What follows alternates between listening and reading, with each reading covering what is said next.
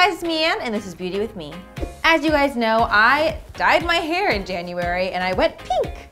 And since then, I have been on a hunt for products that will A, maintain the color of my hair, and B, maintain the health of my hair. And I feel like I've gotten to a good place with the products, so I decided to do a little hair update because you guys have been asking for it. But first, don't forget to subscribe down below. Beauty with Mi comes out every single Monday at 11 a.m. Please make sure you are part of the family. Without further ado, let's get into my hair routine.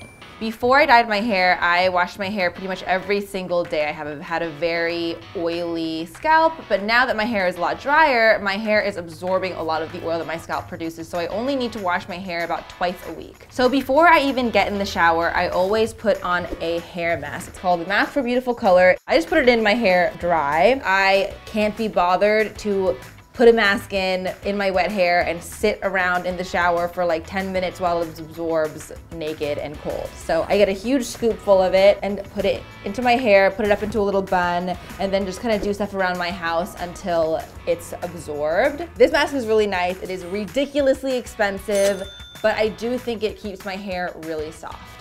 Then once I'm in the shower is when I will wash my hair. Now I use this shampoo, it's called the Oui Repair Shampoo and it is so good.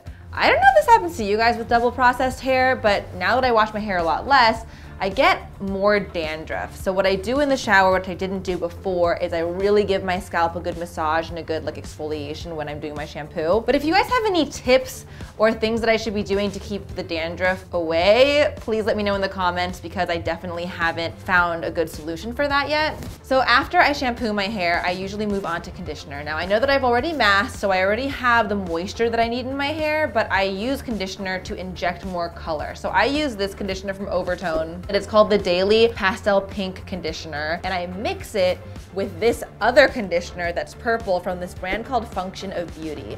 Now, Function of Beauty is a really interesting brand because they customize shampoo to your hair type. So not a single shampoo and conditioner they've ever made is the same. I'll put a little bit of the pink conditioner in my hand and then a couple pumps of the purple conditioner in my hands, mix it together and smooth it through my hair, really working it in to every bit. And then I leave it in my hair for about two to three minutes, like while I'm washing my body or shaving, and then I rinse it out. It won't dye your hair like two or three shades darker, but what it will do is inject just a little bit of color so that what you're losing when you shampoo your hair gets put back in when you condition. And that's pretty much my entire hair washing routine. I get out of the shower and I typically air dry. Madison, my colorist at Spoke & Weal, told me that after I got my hair bleached, I would notice a bit of textural change. So I have.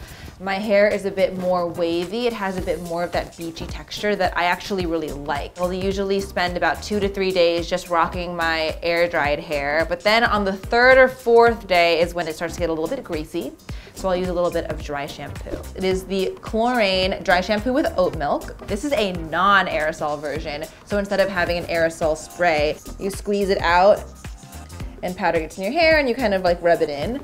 I do find that this does a good job of controlling oil. It also gives your hair a little bit of grittiness that's nice for styling.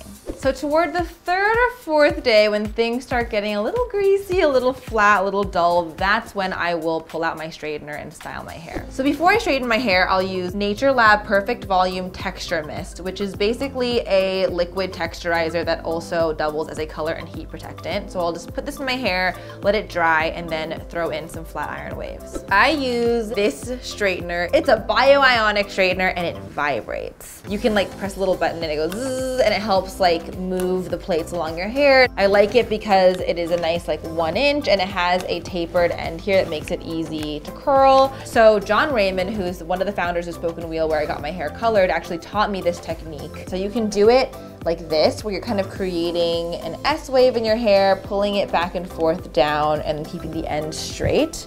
Or take it and twist it like this, and then twist it twice. So what's so great about this technique is that it's supposed to look a little messy and a little tousled. You can do parts of your hair, but you don't have to worry about getting every last piece. And since my hair is, again, more textured than it was before, I find that I can just really focus on the front and get a bit of the back, and it'll be a passable look So as the last step of my hairstyling routine, I'll throw in a little bit of texture cream. Now, if you guys have watched my videos before, you might recognize this guy. This is the Verb Texture Cream. I did a whole video talking about those products, but this is just a very lovely texturizing cream. It's very soft. You put it in your hands. I usually scrunch up in my hair to give me a little bit more texture and volume, and then I'll take the excess and smooth down my flyaways. And what I love about this cream is it does give me a little bit of piecey texture without weighing down my hair, without making my hair feel crunchy, and that's what I love about it. So that's it folks. I think I've done a pretty good job of paring it down. The routine itself doesn't take me that long to do, but I'm still constantly looking for new things to try. So if you guys have color treated hair, you know any products that you think I might like, please let me know down below because I always want to try new things. But I hope you guys enjoyed this video. I hope that you guys learned something and I will catch you guys next week. Bye! Thanks so much for watching, guys. Let me know what you want to see next on Beauty With Mi in the comments down below, and click here to subscribe to Refinery29, and click here to watch my last video. Bye!